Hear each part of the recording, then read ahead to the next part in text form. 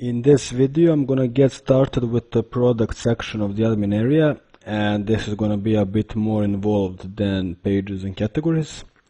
So anyway, first of all I'm gonna create that collection in my database here. So I'm gonna call it products.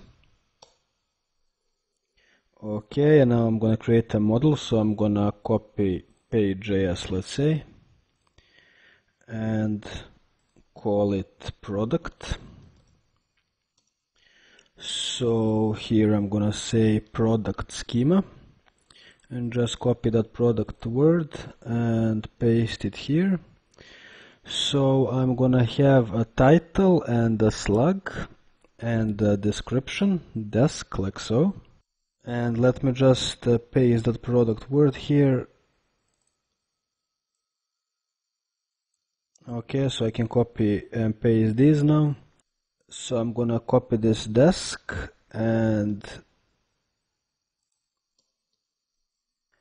that's gonna be category also of type string and required true is fine. And I'm gonna have a price now which is gonna be a number. You can't have a decimal specified here. It has to be a number and I'm also gonna have an image so I'm just gonna copy this log actually. And say image here of type string. So this will contain just the image name. And I can say required true for the price. Doesn't really make a difference as I'm validating that with Express Validator, but anyway. So by the way, in case I haven't mentioned this before, if you didn't validate fields with Express Validator, let's say, and you had the required field here, such as a title, and if you don't have any title when you submit the form, it would just hang there. So that wouldn't be a good user experience. But anyway, now I'm gonna install a few additional plugins I'm gonna be using.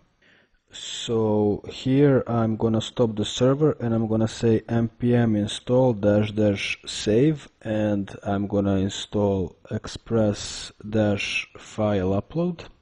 And I'm also gonna install fs dash extra. So there's this fs plugin that comes with node and this one expands it basically to add more functionality and it's used as a replacement for the FS so you don't need to include both FS and FS extra. Just including FS extra includes FS as well. And I'm also gonna get the mkdirp plugin. So I'm able to create directories and I'm also gonna get resize-img plugin for image resizing. Okay that should be it. Okay, so they seem to have been installed.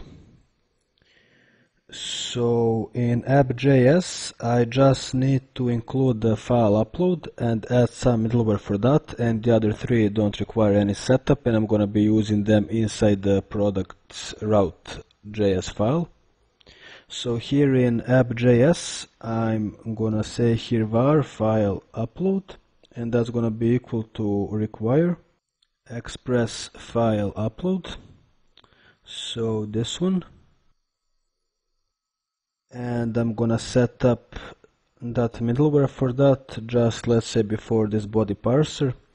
So I'm gonna say here express file upload middleware. And I'm gonna say here app.use and call the file upload function basically. And that should do it for uploading files. Now I should be able to upload files, which actually means get the file type from the, I mean get the file from the form input, because body parser doesn't handle those types of fields.